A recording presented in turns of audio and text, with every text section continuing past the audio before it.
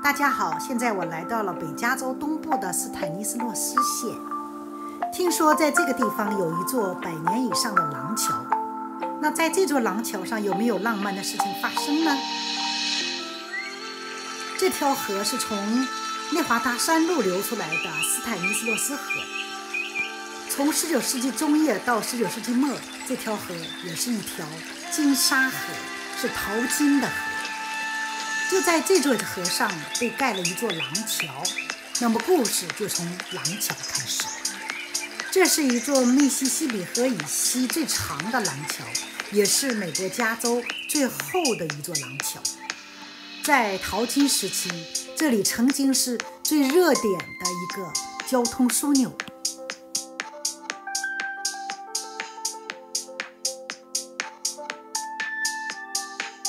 这座廊桥是木质的，和铁钉拧在一起的廊桥。每天阳光的角度不同，廊桥的颜色也在变化着。现在我站在了这座廊桥的桥头。廊桥翻译过来是奈茨费里廊桥，也是国家历史的一个标志性建筑。过去这座廊桥是可以通车的，现在只要求人们徒步走过这座廊桥。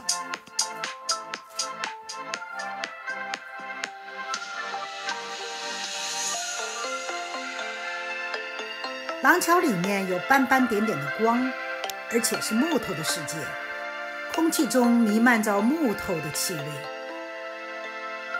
在这木桥上走，就能听到木桥下面轰隆隆的流水声。来到这里寻梦的人都会过这座桥，现在过桥还是免费的。人们到这里只在停车场交一下停车费，剩下的就由你自己自由发挥了。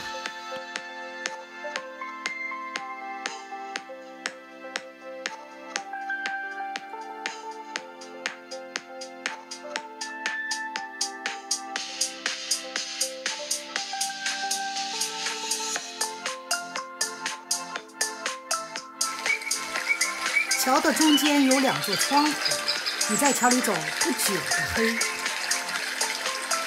据说在一九八一年，这座桥就不允许车辆通行了。那这座桥是什么时候建的呢？河的对面我们可以看见一些钨矿，一会儿我在后面仔细给大家讲解。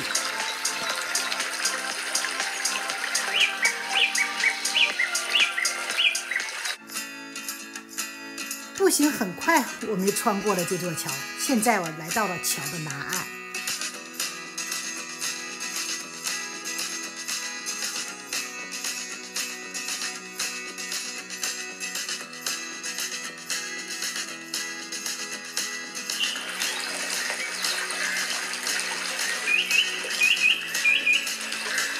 穿过桥到桥的南岸，那里有一座公园。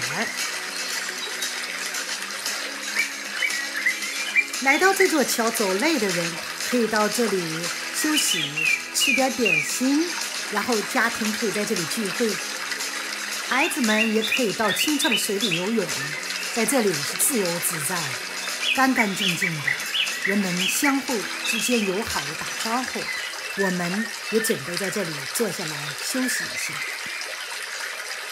我在这里漫步，就想起了一座廊桥，这个电影的名字叫《廊桥遗梦》。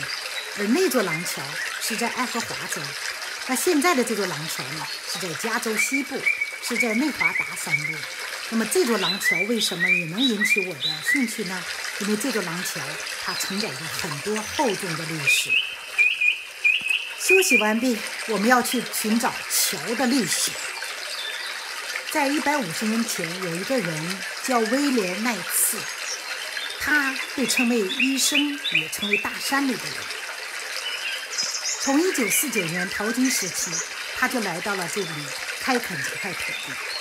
当时河上没有桥，人们都是摆渡过河。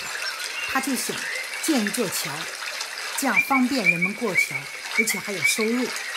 桥还没建起来，奈斯先生意外去世了。他的伙伴继续完成他的遗愿。一八五七年，第一座木头桥建成了，眼前还能看到当时的桥墩。那是淘金的人过桥都要交费的。一八六二年，一场大水把桥又给冲垮了。两年之后呢，他们建起了另一座新桥，并且加了盖，成为了廊桥。现在我身后的就是这座廊桥，而且当时承载着重要的交通枢纽的作用。到了十九世纪末二十世纪初，铁路通过了这个地区，桥就在那个时候慢慢失去了它的作用。淘金时期的年代。从这里通过必须过桥。据说那次的伙伴在这里发了大财。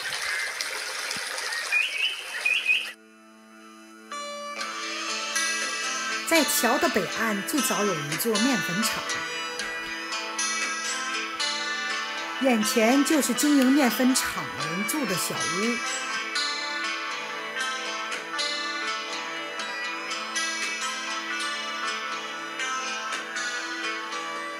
个面粉厂建在1854年，在1862年大水也把这个面粉厂冲垮了。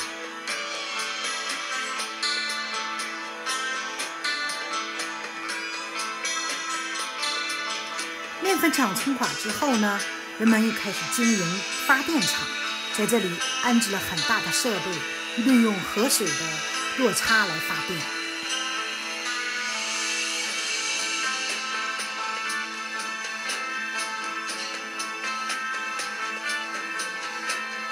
后来，这个发电厂又移交给了军队来运作。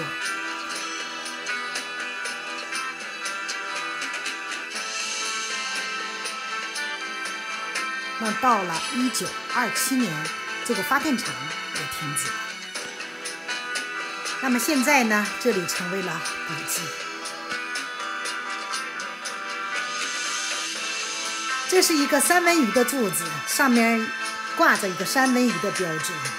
那在三文鱼回流的季节，可以在河里发现很多三文鱼。那对于奈次先生留没留下遗梦呢？那只有他自己知道。如果你喜欢我的视频，请看下一集《奈次古城》。